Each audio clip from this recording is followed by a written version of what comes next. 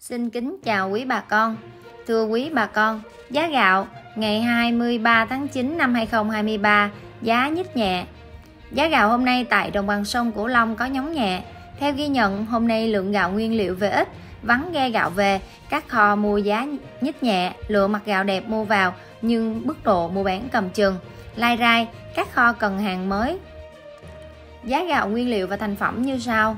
Tại Sa Đéc, gạo nguyên liệu IR504 11.650 đồng đến 11.750 đồng. OM 380 11.600 đến 11.650 đồng. OM 5451 11.750 đồng đến 11.800. OM 18 Đài Thơm 8 11.950 đồng đến 12.000 đồng. Gạo thành phẩm IR 504 hè thu 14.000 tới 14.300.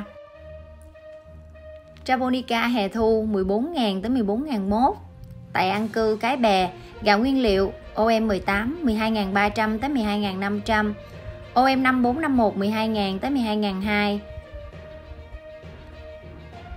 OM 5451 có giá 12.000 tới 12.001 đối với gạo gãy hôi chua. IR 504 11.850 đồng tới 11.950 đồng.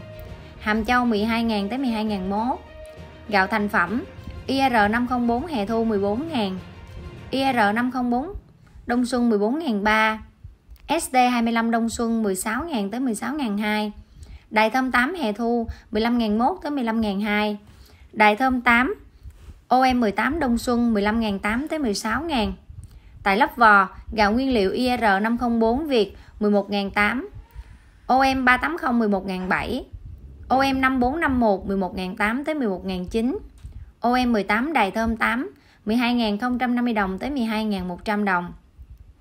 Japonica 11.700 Tại An Giang, Gạo nguyên liệu IR504 11.800 OM5451 11.800 tới 11.900 OM18 12.000 tới 12.001 Phụ phẩm các loại, Tấm IR504 11.350 đồng tới 11.500 đồng. Tấm thơm 12.000 tới 12.200 đồng. Cám 6.400 tới 6.500 Giá mang tính tham khảo sẽ có sự chênh lệch tùy nơi, tùy theo chất lượng. Cảm ơn bà con đã theo dõi kênh. Xin kính chào. Cảm ơn cửa hàng điện máy Phúc Anh Phúc Anh Store .com đã luôn đồng hành và hỗ trợ cho kênh nhà nông miền Tây để có thể mang đến nhiều thông tin hơn cho bà con nông dân. Phúc Anh Store chuyên cung cấp các mặt hàng điện máy, điện gia dụng chính hãng.